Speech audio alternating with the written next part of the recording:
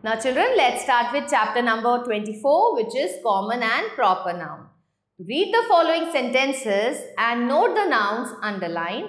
If it is common noun, color the common noun block blue. If it is proper noun, color the proper noun block pink. तो अगर आपको इसमें common noun मिलती है तो आपको ब्लॉक को ब्लू प्रिंट करना है ब्लू से अच्छे से फिल करना है और अगर आपको प्रॉपर नाउन है इस सेंटेंस में तो आपको ब्लॉक को कौन से कलर से फिल करना है? यस पिंक कलर से फिल करना है। So let's get started so देखो, जो भी हमारे प्रॉपर नाउन्स होते हैं ना बच्चों they always start with capital letter तो proper noun could be a name किसी जगह का नाम भी हो सकता है।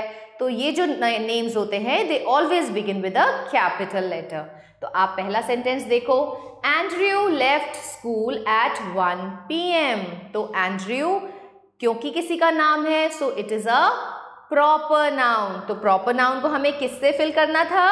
हमें प्रॉपर नाउन वाले ब्लॉक को पिंक से फिल करना है। तो आप यहाँ पे पिंक कलर से फिल कर दोगे।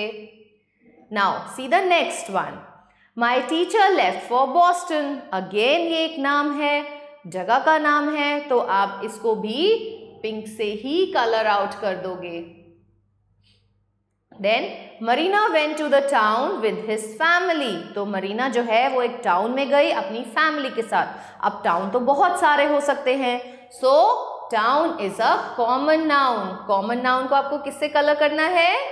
ब्लू से कलर करना है। So you will colour a blue यहाँ पे हम ब्लू को फिल कर देंगे। Jack plays with his kitchen in the lawn तो अब जैक तो एक नाम है। तो हम, क्या है Jack Jack is a proper noun तो प्रॉपर नाउन को आप फिल करोगे पिंक कलर से। Then Ava is holding a book in her hand तो अब बुक तो बहुत सारे टाइप्स की हो सकती हैं।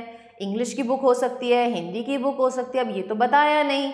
So it is a common noun तो कॉमन नाउन को आप किससे फिल करोगे? ब्लू कलर से।